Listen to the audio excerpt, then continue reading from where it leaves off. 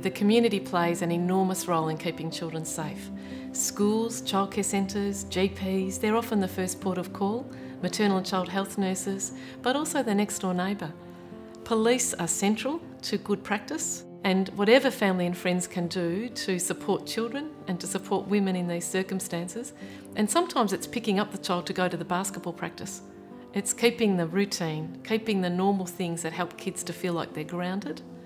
Sometimes those practical things are what women need most. To support both the mother and the child, I think it's really important to think about the mother as the greatest resource that that child has in terms of keeping the child safe.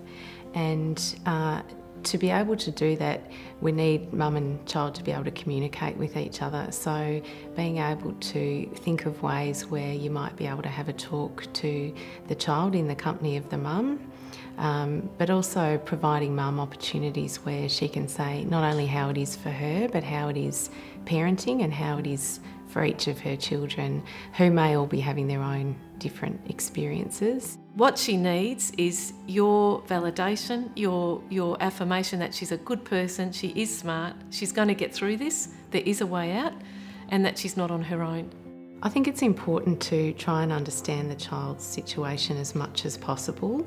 Uh, an outsider looking in can never know exactly what's going on, but children are wanting to be able to talk to someone about what's happening for them. They may be very fearful to tell someone, but at the same time, if they're given the opportunity and if they know that it's someone they can trust, then they will open up about what's going on at home. The signs that a child might be uh, experiencing domestic violence are um, sometimes the ones that are most obvious are the ones that people may notice, and that be, might be acting out behaviours or uh, aggressive behaviours towards peers or towards others. Many children living with violence can actually be doing well at school and are quite resilient.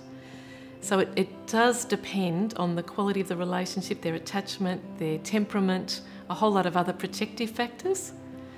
Um, but on balance, we know that children are impacted negatively. Sometimes children are very angry towards their mother, even though their mother isn't um, the cause of the violence, but they react to her because she's not behaving in a way that uh, her partner wants her to behave, and the children will feel, um, particularly if he's saying to the children that she's not doing her job or not doing things the way he wants them to, the children feel that resentful that she should just fall into line and then their lives would be easier.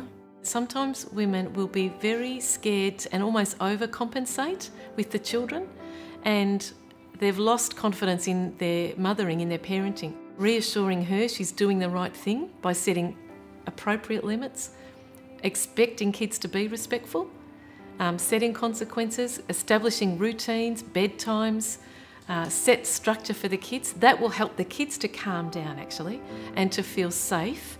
And they won't feel safe unless they sense that actually now mum's in charge. Conversations that families and friends can have with women who are mothering children and trying to sort out how do I how do I manage? How do I do I go? Do I stay? Or how do I leave safely? Because often the planning for the leaving is so important that it's done safely.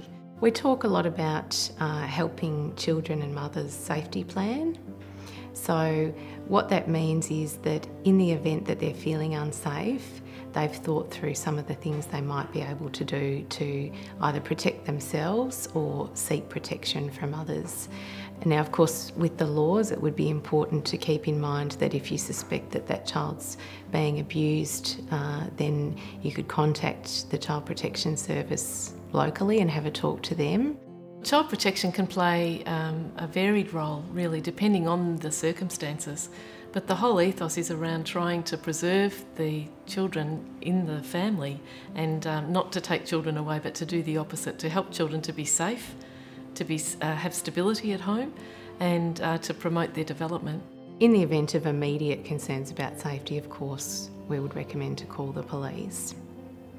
But I think over a period of time, it's important just to be mindful of what's happening for the family and make those opportunities to have a little chat or notice how that person's feeling, how that child's feeling, and then decide what you might do. You may need to talk to someone else to get some advice about what to do.